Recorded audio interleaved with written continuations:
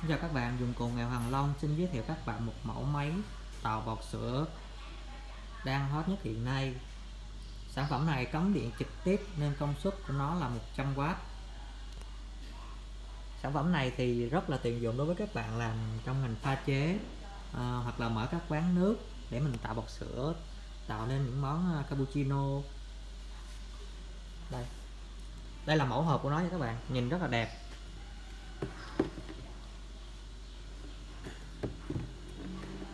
sản phẩm này hiện tại shop đang có màu trắng thôi nha các bạn. À, vỏ của nó thì bằng nhựa nhựa rất là bền. Nó đi kèm theo đó là một cái ly được chia chia vạch như thế này tổng của nó là 450 ml chi tiết của máy nha các bạn.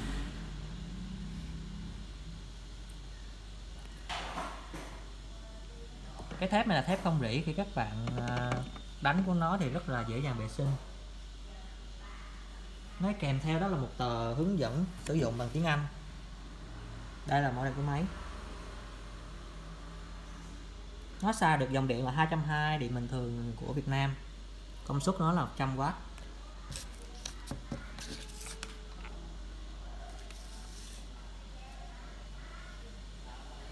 máy thì có hai chức năng đó là tốc độ của nó đó là nhanh và chậm. À, có hai nút trên đây các bạn thấy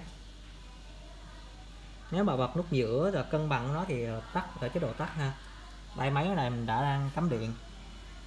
À, giờ mình sẽ bật cho các bạn xem. Cái tốc độ đầu tiên nè số 1 gặp một số đây. Máy chạy rất là mạnh.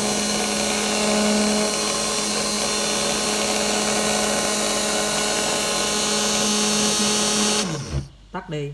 Giờ mình sẽ chuyển qua tốc độ số 2 ha. Đây máy chạy rất là thoải mái khi các bạn đưa cái ly lên.